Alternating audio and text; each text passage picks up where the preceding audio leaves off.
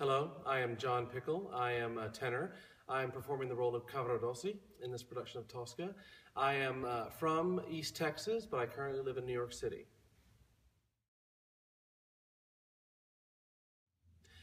I started singing in um, the school choirs when I was in seventh grade and continued on uh, through uh, high school, and I guess I was pretty good at it and um, I ended up auditioning for the Texas All-State Choir, which was a big deal at the time. I think it started out with 25,000 or so students, and that was whittled down to 256 for the final group in the choir. And from that, my um, high school choir director thought that maybe I should audition for a scholarship uh, to go to college. And um, so I thought, why not? And ended up going to college at Stephen F. Austin State University uh, to study um, music education, uh, to be a, like a choir director. And um, once I finally got into college, I found this wonderful, wonderful voice teacher named David Jones in, uh, at Stephen F. Austin State University. And he's trained many great singers that are working in the business right now. And after one semester of studying with him, he convinced me that maybe I should switch my major from education to uh, opera performance. I had no idea what opera was really at the time. Uh, growing up in East Texas, we didn't know what that genre was. And so I started learning about it and getting into the opera productions in, in college, and it just became a passion. And uh, moved on after that, and ended up somehow in this career.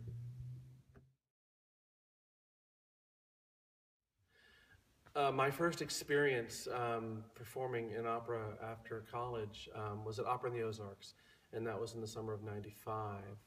And um, it was really kind of my first time ever really away from Texas.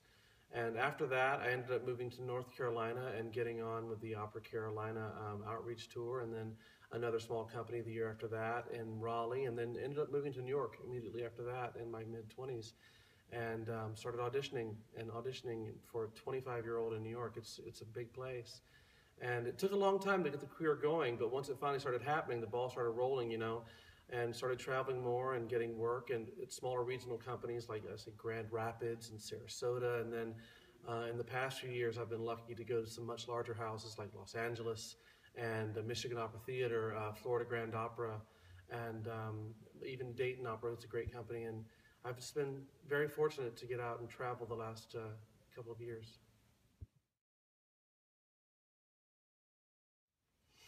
When I'm not singing, I am a big fan of, well, first of all, I have a beautiful wife, and she takes most of my attention. And we have uh, two pugs that are 15 and 12 years old. They're my elder menagerie. And, um, but also, I'm, I'm, a big fan of fly fishing. I found fly fishing about six years ago, and even to the point of now that I, I, I tie my own flies. I, I like to golf as well. I'm a very bad golfer. I think I'd be a much happier golfer if I could learn to lower my expectations, but that's very difficult for me. I also love to snowboard, and uh, I cook. Cooking is one of my great hobbies, and, and cooking and wine makes me happy.